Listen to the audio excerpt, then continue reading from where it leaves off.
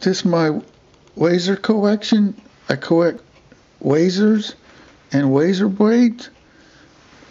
My first Wazer I show is this is Gillette. It's called a black tip because of this black tip. You turn this black tip or you could turn turn that or to turn the tip. But when you turn, see that open, and you put razor braid, it won't. Oh, wrong way. Oh, wait. Okay. You turn it close. See? And then you. Oh, okay.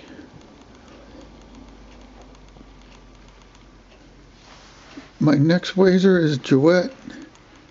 It's a swim adjustable. You turn to open right here and opens this the top.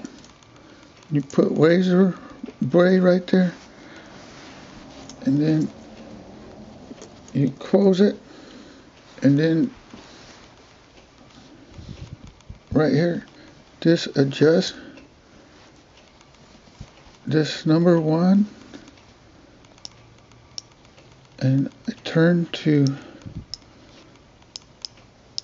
number nine and it makes the razor blade move up and down to give more space or less space for for you to shave.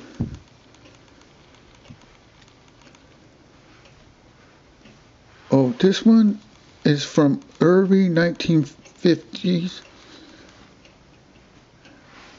And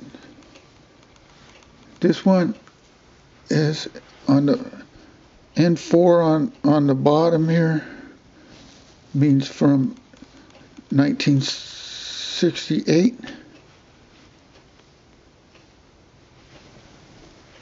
This next one is called Gillette Super Adjustable. It's 109 millimeters long because they made an 84 millimeter long handle. So this one's taller when you stand it up.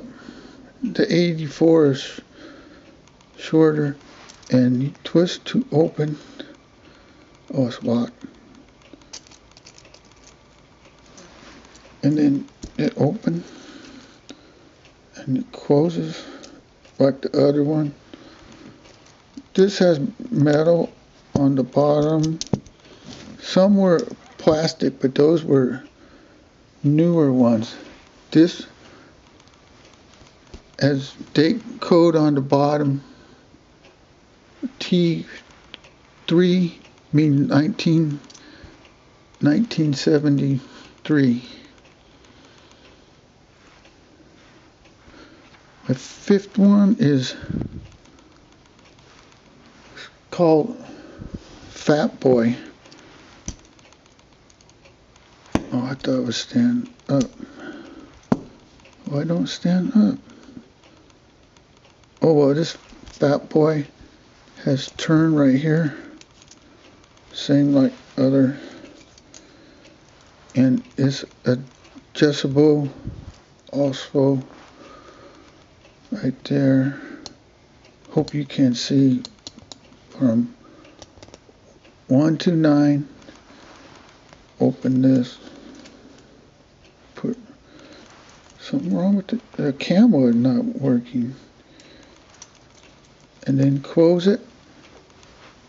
And this one from has date code F1 date code means 1960, so it's really old. And Fat Boy is highly collector item.